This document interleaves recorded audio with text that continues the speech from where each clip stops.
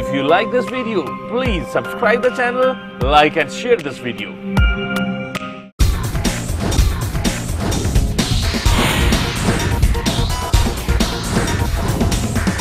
ਸਤਿ ਸ਼੍ਰੀ ਅਕਾਲ ਐਵਨ ਪੰਜਾਬੀ ਦੇਖ ਰਹੇ ਸਾਰੇ ਦਰਸ਼ਕਾਂ ਦਾ ਸਵਾਗਤ ਹੈ। ਮੈਂ ਹਾਂ ਤੁਹਾਡੇ ਨਾਲ ਰਣਜੀਤ ਕੌਰ। ਖਬਰਾਂ ਦੀ ਸ਼ੁਰੂਆਤ ਤੋਂ ਪਹਿਲਾਂ ਇੱਕ ਨਜ਼ਰ ਅੱਜ ਦੀ ਹੈਡਲਾਈਨਸ ਤੇ।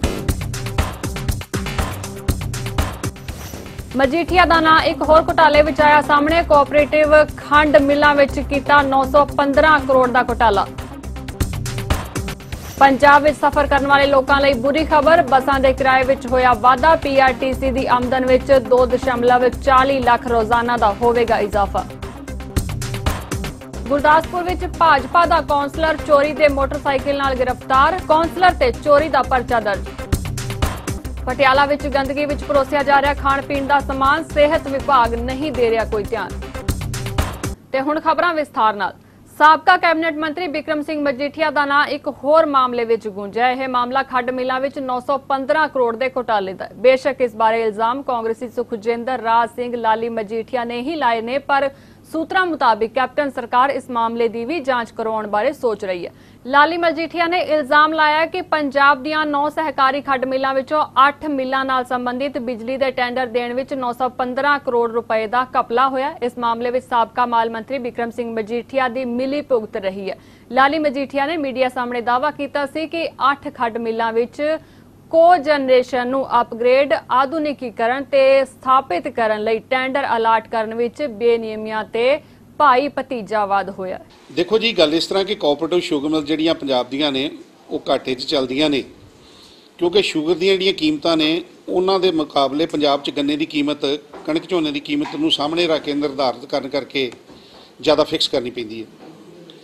ਮਿੱਲਾਂ ਘਾਟੇ 'ਚ ਨਹੀਂ ਇੱਕ ਪਲਾਨ ਬਣੀ ਸੀਗੀ ਕਿ ਮਿੱਲਾਂ ਨੂੰ ਕਿਵੇਂ ਇਸ ਘਾਟੇ 'ਚੋਂ ਕੱਢਿਆ ਜਾਵੇ ਕੋਆਪਰੇਟਿਵ ਸ਼ੂਗਰ ਮਿਲਸ ਨੂੰ। ਤੇ ਉਹਦੇ 'ਚ ਸੀਗਾ ਕਿ ਕੋ ਜਨਰੇਸ਼ਨ ਕੀਤੀ ਜਾਵੇ, ਕਹਿਣ ਤੋਂ ਭਾਵ ਕਿ ਬਗਾਸ ਜਿਹੜਾ ਚੂਰਾ ਉਹਦੇ ਤੋਂ ਬਿਜਲੀ ਬਣਾਈ ਜਾਵੇ। ਔਰ 2008 ਦੇ ਵਿੱਚ ਸ਼ੂਗਰਫੈਡ ਨੇ ਟੈਂਡਰਸ ਫਲੋਟ ਕੀਤੇ ਸੀ 8 ਸ਼ੂਗਰ ਮਿਲਾਂ ਲਈ ਕੋਆਪਰੇਟਿਵ ਮਿਲਾਂ ਲਈ, ਕਿਉਂਕਿ ਸ਼ੂਗਰਫੈਡ ਐਪੈਕਸ ਬਾਡੀ ਆ। ਉਹਦੇ 'ਚ ਚਾਰ ਮਿਲਾਂ ਦਾ ਸਰਈਆ ਇੰਡਸਟਰੀਜ਼ ਲਿਮਟਿਡ ਜਿਹੜਾ ਕਿ ਬਿਕਰਮ ਸਿੰਘ ਦਾ ਫੈਮਿਲੀ ਓਨਡ ਯੂਨਿਟ ਆ। ਉਸ ਕੰਪਨੀ ਨੇ ਚਾਰ ਮਿਲਾਂ, ਜਿਨ੍ਹਾਂ 'ਚ ਨਵਾਂ ਸ਼ਹਿਰ, ਅਜਨਾਲਾ, ਬਟਾਲਾ ਤੇ ਗੁਰਦਾਸਪੁਰ ਔਰ ਇੱਕ ਹੋਰ ਕੰਪਨੀ ਆ, A to Z ਉਹਨਾਂ ਨੇ ਵੀ ਬਿਕਰਮ ਸਿੰਘ ਦੀ ਸਪੋਰਟ ਦੇ ਨਾਲ ਇਹ ਟੈਂਡਰ ਟੋਟਲੀ ਕਹਿ ਲੋ ਕਿ ਗਲਤ ਤਰੀਕੇ ਨਾਲ ਲੈ ਲੇ ਔਰ ਸ਼ੂਗਰਫੈਡ ਪੰਜਾਬ ਨੇ ਇਹਦੇ ਦਬਾਅ ਥੱਲੇ ਸਾਥ ਸੁਖਬੀਰ ਸਿੰਘ ਬਾਦਲ ਦੇ ਦਬਾਅ ਥੱਲੇ ਤੇ ਬਿਕਰਮ ਸਿੰਘ ਦੇ ਦਬਾਅ ਥੱਲੇ ਮਿੱਲਾਂ ਨੂੰ ਇਹ ਕਹਿਤਾ ਜੀ ਕਿ ਤੁਸੀਂ ਅੱਗੇ ਪੀਐਲਈ ਫਾਈਲ ਨਹੀਂ ਕਰਨੀ। ਔਰ ਜਿਹੜੇ ਮੰਨ ਲਓ ਜਿਹੜਾ ਵਕੀਲ ਦਾ ਜਿਹੜਾ ਉੱਥੇ ਸੁਜੈਸ਼ਨ ਸੀ ਉਹਨੂੰ ਵੀ ਦਰਕਨਾਰ ਕਰਤਾ ਗਿਆ। ਔਰ ਜਿੰਨਾ ਕਿਸੇ ਆਫੀਸਰਸ ਨੇ ਉਹਦੇ ਵਿਰੋਧਤਾ ਕੀਤੀ ਇਹਨਾਂ ਦੇ ਗਲਤ ਐਗਰੀਮੈਂਟ ਤੇ ਸਾਈਨ ਕਰਨੋਂ ਜਿਹੜਾ ਆ ਅਹ, ਕਹਿ ਮਨਾ ਕਰਤਾ ਉਹਨਾਂ ਦੇ ਪ੍ਰਤੀ ਬਹੁਤ ਬਦਲਾਖੋਰੀ ਕੀਤੀ ਗਈ ਉਹਨਾਂ ਨੂੰ ਬਹੁਤ ਮੈਂਟਲੀ ਹਰਾਸ ਕੀਤਾ ਗਿਆ। ਸੂਬਾ ਸਰਕਾਰ ਨੇ ਬੱਸ ਕਿਰਾਇਆਂ ਵਿੱਚ 3 ਪੈਸੇ ਪ੍ਰਤੀ ਕਿਲੋਮੀਟਰ ਦਾ ਵਾਅਦਾ ਕੀਤਾ। ਹੈ ਸਧਾਰਨ ਬੱਸਾਂ ਦਾ ਕਿਰਾਇਆ 99 ਪੈਸੇ ਤੋਂ 1 ਰੁਪਏ 2 ਪੈਸੇ ਪ੍ਰਤੀ ਕਿਲੋਮੀਟਰ ਵੱਧ ਗਿਆ। ਜੋ ਲਾਗੂ ਹੋ ਗਿਆ। ਇਸ ਨਾਲ ਜਿੱਥੇ ਲੋਕਾਂ ਤੇ ਲੱਖਾਂ ਦਾ ਵਿੱਤੀ ਬੋਝ ਪਿਆ ਉੱਥੇ ਹੀ ਪੀਆਰਟੀਸੀ ਦੀ ਆਮਦਨ ਵਿੱਚ 2.40 ਲੱਖ ਰੋਜ਼ਾਨਾ ਤੇ 72 ਲੱਖ ਰੁਪਏ ਮਹੀਨੇ ਦਾ ਇਜ਼ਾਫਾ ਹੋਇਆ।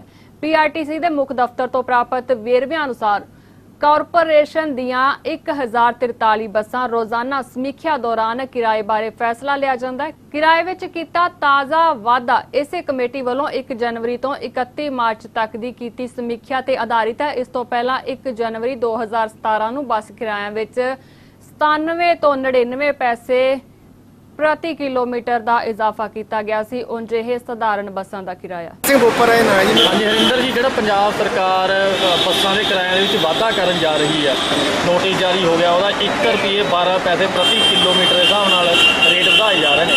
ਕਿੰਨਾ ਕੁ ਮਾੜਾ ਅਸਰ ਜਾਂ ਕਿੰਨਾ ਕੁ ਪ੍ਰਭਾਵ ਪਊਗਾ ਜਨਤਾ ਦੇ ਇਹ ਬਹੁਤ ਜ਼ਿਆਦਾ ਪਹਿਲਾਂ ਹੀ ਜਨਤਾ ਦੇ ਬਹੁਤ ਜ਼ਿਆਦਾ ਬੋਝ ਹੈ ਪ੍ਰਭਾਵ ਹੈ। ਹਰ ਇੱਕ ਚੀਜ਼ ਮਹਿੰਗੀ ਹੈ।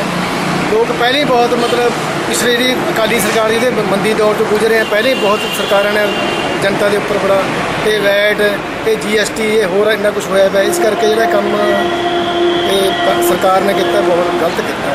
ਨਹੀਂ ਲੱਗਦਾ ਤੁਹਾਨੂੰ ਵੀ ਸਰਕਾਰ ਤੋਂ ਇਹੋ ਜਿਹੀ ਉਮੀਦ ਸੀਗੀ ਜਿਵੇਂ ਕੋਈ ਐਸੀ ਕੋਈ ਉਮੀਦ ਨਹੀਂ ਸੀ ਵੈਸੇ ਲੋਕਾਂ ਨੂੰ ਬਹੁਤ ਉਮੀਦਾਂ ਦੀਆਂ ਵੀ ਇਹ ਜਨਤਾ ਦੇ ਕੋਈ ਭਲਾ ਕਰੇਗੀ ਜਾਂ ਜਨਤਾ ਦੀ ਕੋਈ ਚੰਗੇ ਕੰਮ ਵਾਸਤੇ ਬੜੀਆਂ ਉਮੀਦਾਂ ਥੀਆਂ ਪਰ ਲੋਕਾਂ ਦੀਆਂ ਉਮੀਦਾਂ ਦੇ ਬਿਲਕੁਲ ਹੀ ਪਾਣੀ ਫਿਰ ਗਿਆ नहीं देखो जैसे जीएसटी है अगर उसमें ही सीधा ये अपना 33 परसेंट से 28 परसेंट कर दें जीएसटी वैसे ही तीन परसेंट वो चार आपका जीएसटी कम हो जाए उससे ही जो पेट्रोल है वो कम हो डीजल कम हो जाएगा बस का किराया कम हो जाएगा वो ये कम नहीं कर रहे वो भी इनको सोचना चाहिए ना For good health, please subscribe A1 Healthcare. For better music, subscribe A1 Music. For best informational programs, please subscribe A1 Punjabi TV. And for all updated news, please subscribe A1 News. Punjab ਵਿੱਚ ਸ੍ਰੀ ਗੁਰੂ ਗ੍ਰੰਥ ਸਾਹਿਬ ਜੀ ਤੇ ਗੁਰਬਾਣੀ ਦੇ ਗੁਟਕਿਆਂ ਦੀ ਬੇਅਦਬੀ ਦੀਆਂ ਵਾਰਦਾਤਾਂ ਦਿਨੋ ਦਿਨ ਵਧਦੀਆਂ ਹੀ ਜਾ ਰਹੀਆਂ ਨੇ ਤੇ ਪੰਜਾਬ ਦੀ ਕੈਪਟਨ ਸਰਕਾਰ ਵੱਲੋਂ ਬੇਅਦਬੀ ਦੀਆਂ ਘਟਨਾਵਾਂ ਨੂੰ ਰੋਕਣ ਲਈ ਅਤੇ ਬੇਅਦਬੀ ਦੇ ਦੋਸ਼ੀਆਂ ਨੂੰ ਗ੍ਰਿਫਤਾਰ ਕਰਨ ਲਈ ਕੋਈ ਕਾਰਵਾਈ ਨਹੀਂ ਕੀਤੀ ਜਾ ਰਹੀ ਇਹ ਵਿਚਾਰ ਸ਼੍ਰੋਮਣੀ ਗੁਰਦੁਆਰਾ ਪ੍ਰਬੰਧਕ ਕਮੇਟੀ ਦੇ ਪ੍ਰਧਾਨ ਪ੍ਰੋਫੈਸਰ ਕਿਰਪਾਲ ਸਿੰਘ ਬਡੂੰਗਰ ਨੇ ਸੁਲਤਾਨਪੁਰ ਲੋਧੀ ਤੇ ਦੇਸ਼ ਵਿਦੇਸ਼ ਵਿਖੇ ਕਾਰ ਸੇਵਾ ਰਾਹੀਂ ਗੁਰੂ ਘਰਾਂ ਦੀਆਂ ਇਮਾਰਤਾਂ ਦੇ ਨਿਰਮਾਣ ਦੀ ਵੱਡੀ ਸੇਵਾ ਨਿਭਾ ਰਹੇ। ਬਾਬਾ ਜਗਤਾਰ ਸਿੰਘ ਕਾਰ ਸੇਵਾ ਤਰਨਤਾਰਨ ਵਾਲਿਆਂ ਦਾ ਸਨਮਾਨ ਕਰਨ ਉਪਰੰਤ ਪੱਤਰਕਾਰਾਂ ਨਾਲ ਗੱਲਬਾਤ ਸਮੇਂ ਪ੍ਰਗਟ ਕੀਤੇ। ਇਸ ਮੌਕੇ ਪ੍ਰੋਫੈਸਰ ਬਡੂੰਗਰ ਵੱਲੋਂ ਗੁਰਦੁਆਰਾ ਬੇਰ ਸਾਹਿਬ ਵਿੱਚ ਬਣਾਈ ਗਈ ਇਮਾਰਤ ਦਾ ਵੀ ਉਦਘਾਟਨ ਕੀਤਾ ਗਿਆ। ਖਤਰਨਾਕ ਗੈਂਗਸਟਰਾਂ ਦੀ ਸੋਸ਼ਲ ਮੀਡੀਆ ਤੇ ਵੱਧ ਰਹੀ ਸਰਗਰਮੀ ਤੇ ਚਿੰਤਾ ਪ੍ਰਗਟ ਕਰਦਿਆਂ ਏਡੀਜੀਪੀ ਰੋਹਿਤ ਚੌਧਰੀ ਨੇ ਇਸ ਤੇ ਨਿਗਰਾਨੀ ਰੱਖੇ ਜਾਣ ਦੀ ਗੱਲ ਆਖੀ ਹੈ। ਦਰਅਸਲ, ਪਿਛਲੇ ਕੁਝ ਸਮੇਂ ਦੌਰਾਨ ਗੈਂਗਸਟਰਾਂ ਵੱਲੋਂ ਵਾਰਦਾਤਾਂ ਨੂੰ ਅੰਜਾਮ ਦੇਣ ਤੋਂ ਬਾਅਦ ਸੋਸ਼ਲ ਮੀਡੀਆ ਤੇ ਸ਼ਰੇਆਮ ਪੋਸਟਾਂ ਪਾਈਆਂ ਜਾ ਰਹੀਆਂ ਨੇ, ਜਿਨ੍ਹਾਂ ਤੇ ਨਿਗਰਾਨੀ ਰੱਖ ਕੇ ਗੈਂਗਸਟਰਾਂ ਨੂੰ ਫੜਨ ਵਿੱਚ ਮਦਦ ਮਿਲ ਸਕਦੀ ਹੈ। ਏਡੀਜੀਪੀ ਰੋਹਿਤ ਚੌਧਰੀ ਬਠਿੰਡਾ ਥਾਣੇ ਵਿੱਚ ਰਿਸੈਪਸ਼ਨ ਰੂਮ ਦਾ ਉਦਘਾਟਨ ਕਰਨ ਪੁੱਜੇ ਹੋਏ ਸਨ। ਇਸ ਦੇ ਨਾਲ ਹੀ ਏਡੀਜੀਪੀ ਨੇ ਥਾਣਿਆਂ ਵਿੱਚ ਮਹਿਲਾ ਪੁਲਿਸ ਅਫਸਰਾਂ ਦੀ ਤਾਇਨਾਤੀ ਦੀ ਵੀ ਗੱਲ ਆਖੀ ਹੈ। ਪੇੜਾਂ ਦੇ ਥੱਲੇ ਬੈਠੇ ਹੁੰਦੇ ਆ, ਕਈ ਧੁੱਪੇ ਯੂ نو ਵੇਟ ਕਰਦੇ ਹੁੰਦੇ ਆ, ਕਈ ਕਈ ਘੰਟਿਆਂ। ਕੋਈ ਮਿਲਣ ਨੂੰ ਨਹੀਂ ਹੁੰਦਾ, ਕੋਈ ਰਿਸੀਵ ਕਰਨ ਕੋਈ ਅਟੈਂਡ ਕਰਨ ਨੂੰ ਨਹੀਂ ਹੁੰਦਾ। ਤੇ ਅਸੀਂ ਫਿਰ ਸੋਚਿਆ ਕਿ ਕਿਉਂ ਨਾ ਇੱਥੇ ਰਿਸੈਪਸ਼ਨ ਰੂਮ ਬਣਾਈਏ ਹਰ ਥਾਣੇ ਦੇ ਵਿੱਚ। ਜਿੱਥੇ ਕੋਈ ਬੰਦਾ ਜੋ ਜਦੋਂ ਵੀ ਥਾਣੇ ਆਂਦਾ ਹੈ ਉਹਨੂੰ ਬੈਠਣ ਲਈ ਦੀ ਜਗ੍ਹਾ ਹੋਏ ਤੇ ਕੋਈ ਅਟੈਂਡ ਕਰਨ ਲਈ ਕੋਈ ਬੰਦਾ ਹੋਏ ਕਿ ਕਿਸ ਕੰਮ ਲਈਏ ਔਰ ਉਹਨੂੰ ਅਟੈਂਡ ਕਰੀਏ ਇਮੀਡੀਏਟਲੀ ਸੋ ਇਹ ਰਿਸੈਪਸ਼ਨ ਰੂਮ ਜਿਹੜਾ ਤੁਸੀਂ ਦੇਖਿਆ ਹੈ ਸ਼ੁਰੂ ਕੀਤਾ ਕੋਤਵਾਲੀ ਦੇ ਵਿੱਚ। ਔਰ ਅ, ਪੈਟਰਨ ਤੇ ਬਾਕੀ ਥਾਣਿਆਂ ਦੇ ਵਿੱਚ ਵੀ ਸ਼ੁਰੂ ਕੀਤਾ ਜਾਏਗਾ। ਇਹਦੇ ਨਾਲ ਨਾਲ ਅ, ਕੁਝ ਜਗ੍ਹਾ ਇਹ ਵੀ ਸੀਗੇ ਕਿ ਉਹ ਮੀਟਿੰਗ ਦੇ ਵਿੱਚ ਮੈਂ ਗਿਆ ਸੀ ਕੋਈ ਲੇਡੀਜ਼ ਸੀ ਉਹ ਕਹਿੰਦੇ ਸੀ ਵੀ ਲੇਡੀਜ਼ ਨੂੰ ਅਟੈਂਡ ਕਰਨ ਲਈ ਵੀ ਲੇਡੀਜ਼ ਹੋਣੀ ਚਾਹੀਦੀ ਹੈ। ਕਿਉਂਕਿ ਕਈ ਲੇਡੀਜ਼ ਹੈਜ਼ਿਟੇਟ ਕਰਦੀਆਂ ਹੈ ਪੁਲਿਸ ਸਟੇਸ਼ਨ ਦੇ ਵਿੱਚ ਆਉਣ ਲਈ। ਸੋ ਉਹ ਅਸੀਂ ਸੋਚਿਆ ਕਿ ਨਹੀਂ, ਬਿਲਕੁਲ ਜਾਇਜ਼ ਗੱਲ ਹੈ। ਔਰ ਕਿਉਂਕਿ ਸਫੀਸ਼ੀਐਂਟ ਲੇਡੀ ਸਟਾਫ ਹੁਣ ਪੁਲਿਸ ਦੇ ਵਿੱਚ ਹੈ, ਭਰਤੀਆਂ ਪਿੱਛੇ ਹੋਈਆਂ ਸੀਗੀਆਂ ਔਰ ਸਫੀਸ਼ੀਐਂਟ ਹਰ ਥਾਣੇ ਦੇ ਵਿੱਚ ਲੇਡੀ ਸਟਾਫ ਹੁੰਦੀ ਹੈ ਤਾਂ ਕਿਉਂ ਨਾ ਅਸੀਂ ਇੱਕ ਲੇਡੀ ਸਟਾਫ ਵੀ ਰੱਖੀਏ ਡਿਊਟੀ ਅਫਸਰ ਦੇ ਨਾਲ ਨਾਲ। ਸੋ ਲੇਡੀ ਸਟਾਫ ਦੇ ਵੀ ਇਨਸਟਰਕਸ਼ਨ ਅਸੀਂ ਦਿੱਤੀਆਂ ਹੈਗੀਆਂ।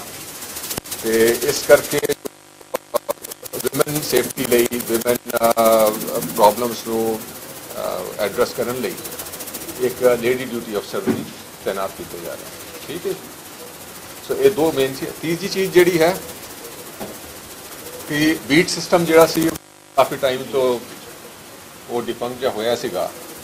ਉਹਨੂੰ ਅਸੀਂ ਦੁਬਾਰਾ ਰਿਵਾਈਵ ਕੀਤਾ ਹੈ। ਤੋ ਇਹ ਬੀਟ ਬੁੱਕਾਂ ਜੋ ਹੈ ਇਧਰੋਂ ਅਸੀਂ ਸ਼ੁਰੂਆਤ ਕੀਤੀ ਹੈ ਬੀਟ ਬੁੱਕ ਦੇ ਕੇ ਸਾਰੇ ਮੁਲਾਜ਼ਮਾਂ ਨੂੰ। ਇਹਦਾ ਫਾਇਦਾ ਇਹ ਹੁੰਦਾ ਹੈ, ਇੱਕ ਤਾਂ ਪ੍ਰੋਪਰ ਇਨਫੋਰਮੇਸ਼ਨ ਇਲਾਕੇ ਦੇ ਬਾਰੇ ਹੁੰਦੀ ਹੈ ਔਰ ਇਸ ਦੇ ਵਿੱਚ ਹੋਰ ਐਡੀਸ਼ਨ ਗਾਹਾਂ ਅਸੀਂ ਕੀਤਾ ਹੈ ਕਿ ਬੀਟ ਵਾਈਜ਼ ਜੀਓ ਜਾ ਕੇ ਮੀਟਿੰਗ ਕਰਨ ਪਬਲਿਕ ਨੂੰ ਮਿਲਣ For good health, please subscribe A1 Healthcare. For better music, subscribe A1 Music. For best informational programs, please subscribe A1 Punjabi TV.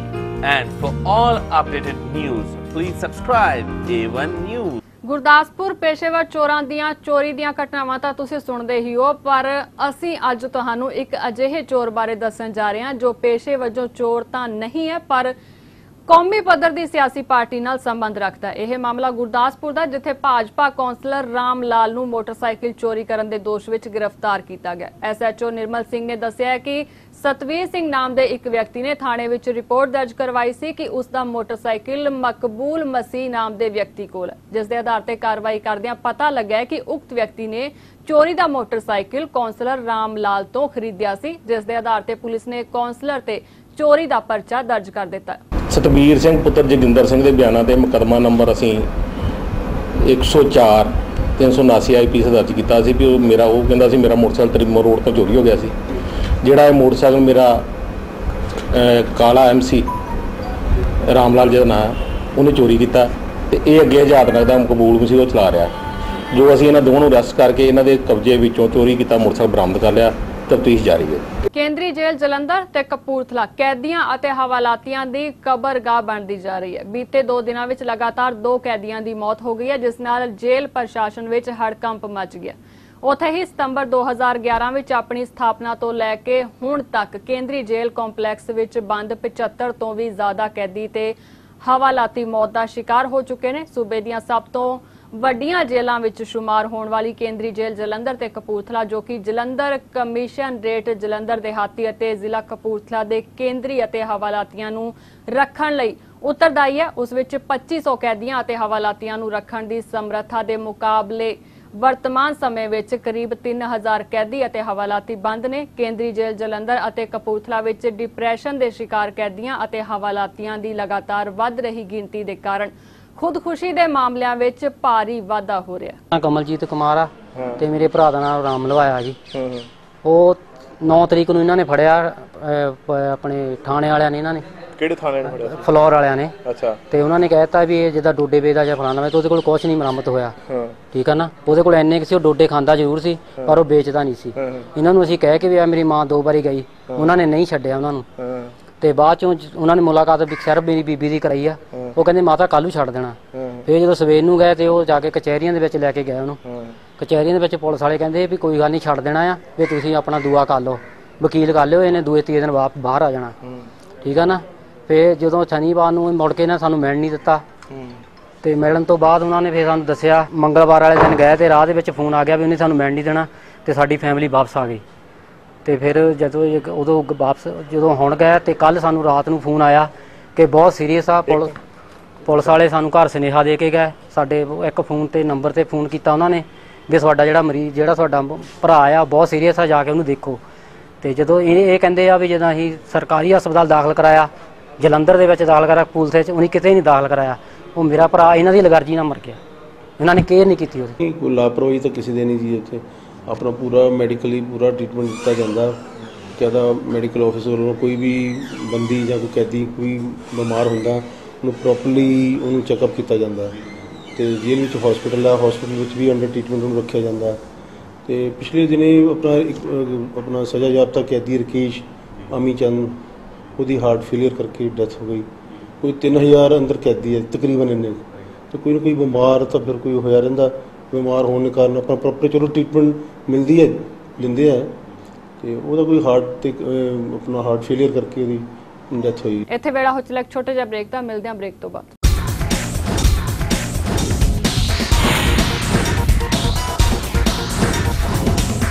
If you like this video, please subscribe the channel, like and share this video.